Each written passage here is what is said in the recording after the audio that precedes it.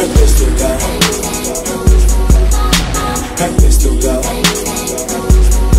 I said her pistol go. Cause she a fashion killer and I'm a trendy figure. I said her pistol go.